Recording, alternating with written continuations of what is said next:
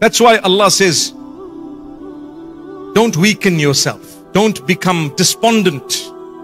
And don't become sad when something happens to you. Don't become despondent and don't become sad. Don't be saddened. For indeed you will be the successful or the higher or the victor if you are true believers. That if you are true believers is the most important part of the verse. ولا تهنوا ولا تحزنوا وأنتم الأعلون إن كنتم مؤمنين That's the verse I just translated it before I read it. If you are true believers, then there's no point to be saddened. There's no point to be despondent. Don't be despondent. Don't lose hope and don't become sad. You will be successful. Ultimately, victory is yours. Not today, but tomorrow. If not tomorrow, the next day. If not in this world, then the next. But you have to be a believer. That's what it is. وَأَنْتُمُ الْأَعْلَوْنَ إِن كُنْتُم مُؤْمِنِينَ If you are true believers, then you will be victorious.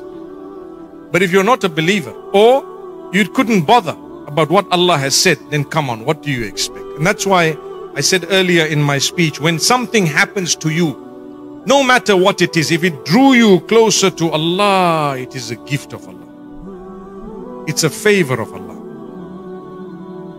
And when something drew you or, or distanced you from Allah, no matter how nice it seemed, it was actually a negative thing. Assalamu alaikum.